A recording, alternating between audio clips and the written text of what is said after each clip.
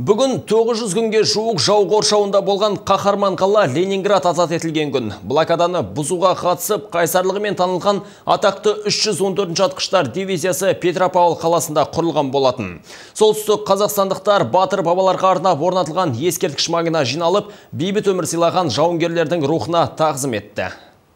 Жаслан Құдабаев ат жалын тартып мінгелі тылда еңбек етті. Осыдан тура 75 жыл бұрын дәл осы жерден ағасы Төрежан Құдабаевты қан майданға шығарып салған. Солтүстік қазақстандық солдат атағы жер жарған 314 атқыштар дивизиясының кескілескен ұрыстарының бірінде қаза табады. Көне көз қария сұрапыл жылдары бауырларының ыстық құшағы ажыраған сәттерді еске алып, ескерткіш басына жиі келеді екен. Бұл жер біздің ардақты құнды киелі жердің бірінде тұрмыз бұл арада бұл арада міне бүгінгі күні аталып жатқан атақты аталы 314 дивизияның күні о дәл осы жерде құрылған күні болатын.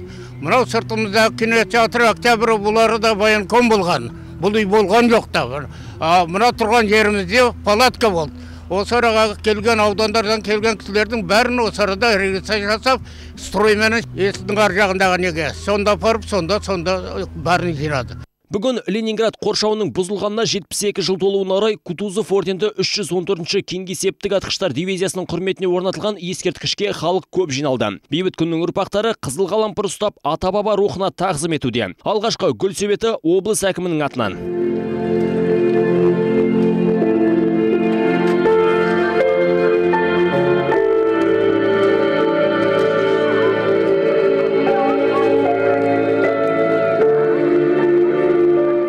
314 атқыштар дивизиясы 1941 жылдың маусымында Петропавл қаласында қысқа мерзімнің ішінде жасақталады. Оның құрамындағы жауынгерлердің арасында Павлодар, Көкшетау және Солтүстік Қазақстан облыстарының тумалары да болды. 314 атқыштар дивизиясы солтүстік батыс майданда кеңес елінің талай қалаларын жаудан азат етуге атсалысады. Фашистердің қоршауында қалған Ленинград блокадасын бұзуда дивизия өшпес ерлік көрсетті. Ол үшін екінің біріне беріле бермейтін екінші дәрежелі Кутузов орденімен, ал оның құрамындағы атқыштар полктары Александр Невский орденімен марапатталды. Сол отты жылдары фашистер Ленинградты 872 күн бойы қоршауда ұстаған. Екі жылдан астам уақыт аралығында бір жарым миллион адамның өмірі қиылады. Ал 44 жылдың 27 қаңтарында қаһарман қала толығымен азат етілгенде бөркін көкке атқан адам болмаған шығар дейді блокадашы Любовь Яковлева мы не понимали ничего біз басында еш нәрсе түсінбедік сосын есімізді жиып бір бірімізден мән жайды сұрастыра келе қаланың жау қолынан босағандығын естідік бұл күні қуанышымызда шек болмады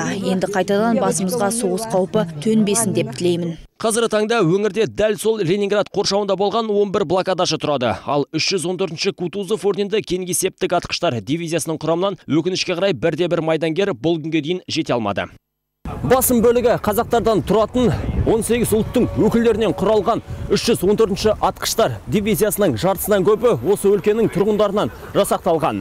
1945 жылдың мамырында таратылған аталмыш дивизияның құрамында болған 3832 қазақстандық батыр жауынгерлік ордендермен 4694 сарбаз медальдармен марапатталып, үш жауынгер кеңес одағының батыры деген үлкен атаққа ие болған. Бүгінде қайсар мінезді бабалардың ерлігін кейінгі ұрпақ мәңгі есте сақтайды. Риат Шуни, Владимир Боровков, муниципалдық телеарна.